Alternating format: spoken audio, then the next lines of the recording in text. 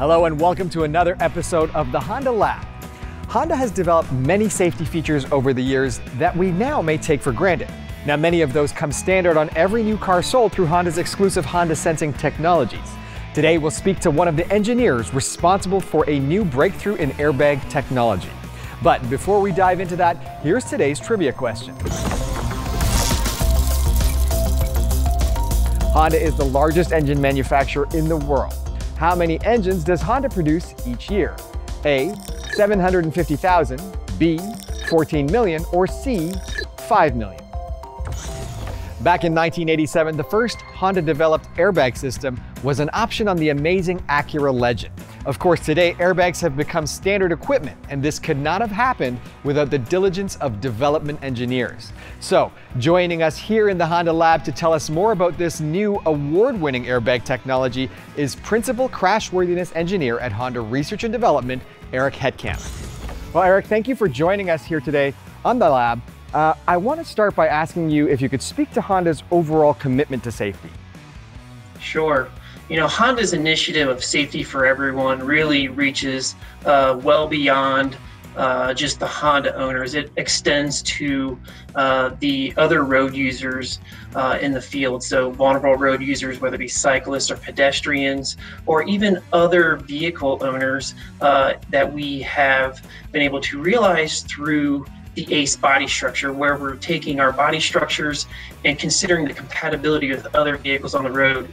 And so safety for everyone is really a infinite mindset and initiative through Honda where it will continue to evolve from passive safety, you know, 20 years ago when safety for everyone was initially rolled out to now we're getting into the active safety portion and then who knows what the future will bring, but the mindset is there for safety for everyone, and uh, it's a very empowering one for all associates at Honda that can really take to heart and develop new technologies like this uh, next generation passenger airbag that we're going to talk about today.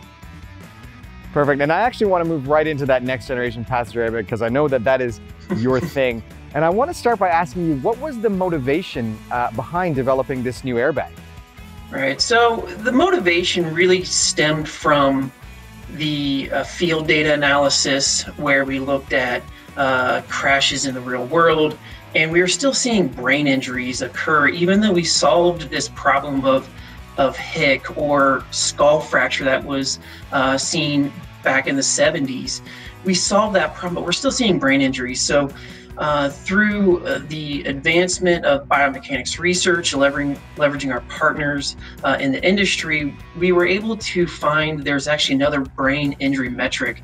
And this metric is called BRIC. And it's really looking at uh, diffuse axonal injury in your brain. And that can lead to coma, speech loss, and in a very, very severe case, death.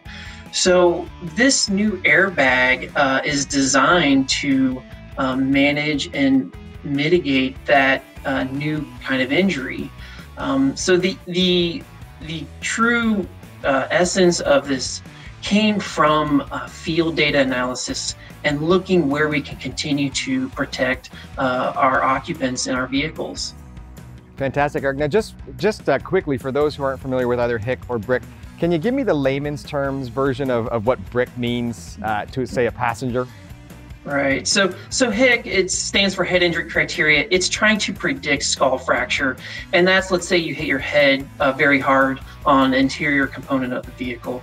BRIC stands for brain injury criteria, and it's looking at the uh, shearing of brain tissue, and what it's really looking at is how does your brain move relative to your skull? That's what's causing these high stresses in your brain.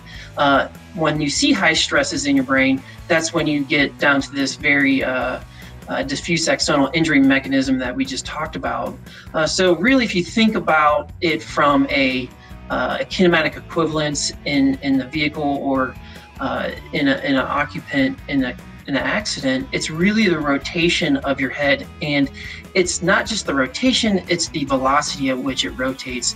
That is what's inducing this injury, this brain injury in your head. And, and that mechanism was what really drove the future design of the next generation passenger airbag.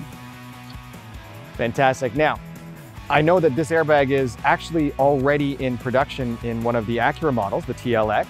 So tell us, how has your new airbag, how does it address uh, that motivation, the reason for doing this?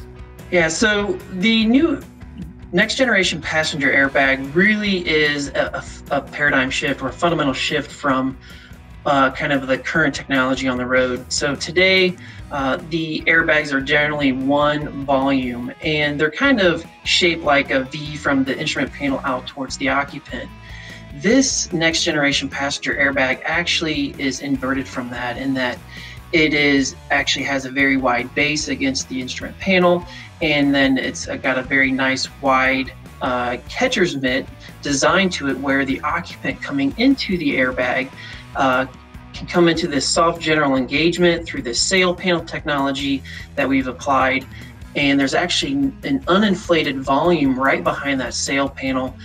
Uh, so you can kind of gently come into the catcher's mitt. And then once you're into the catcher's mitt, you have both side lobes uh, of the three chamber airbag design, uh, kind of cradling your head. And with any uh, oblique vector of loading on the airbag through from the crash event, uh, you're able to kind of manage how much your head rotates.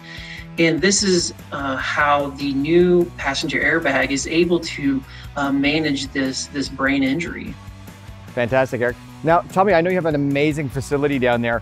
What sort of results have you been seeing with the, with the new airbag? Yeah, the results are impressive. Um, you know, we've seen a 75% reduction in BRIC uh, so that's a, a, an indicator of the level of brain injury that uh, you would see. But a 75% reduction uh, in, in BRIC is impressive uh, when we compare it from the current technology to this uh, new, next generation of technology that is in the TLX. Well, that's wonderful. Eric, thank you so much for taking time out of your day and joining us here today. We really appreciate it. Thank you. Now, earlier we asked you how many engines do you think Honda produces each year? The company actually makes over 14 million engines every year. Well, that's it for today's episode of the Honda Lab. We'll see you next time.